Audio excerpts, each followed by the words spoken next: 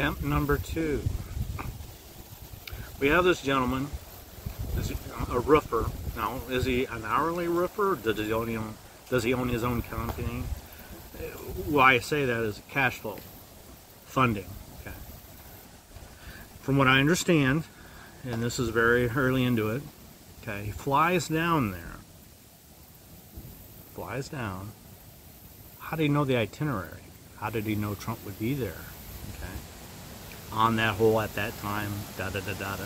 So he flies down, obtains the AKA while he's in Florida. Now he's driving a vehicle. Is it, is it a rental?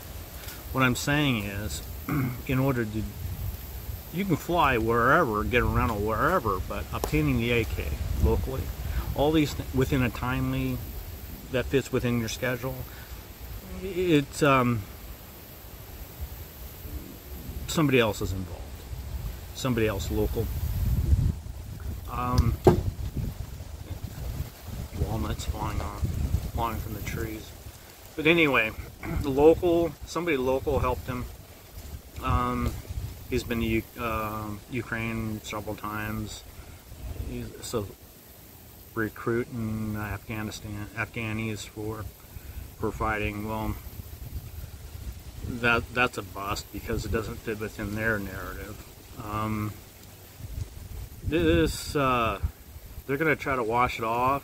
Now, is he is he part of the the circus? I don't think so. No, no, no. Uh, the circus uses a lot of useful idiots. Okay, and I think he's one of them. But I do think they um, he was helped along.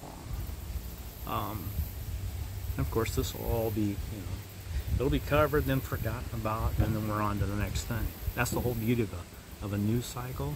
People lose interest, and rarely rarely care about details. Um, that's a state of the country. Uh, attention span is or close to it. And that's why we're stuck in this paradigm.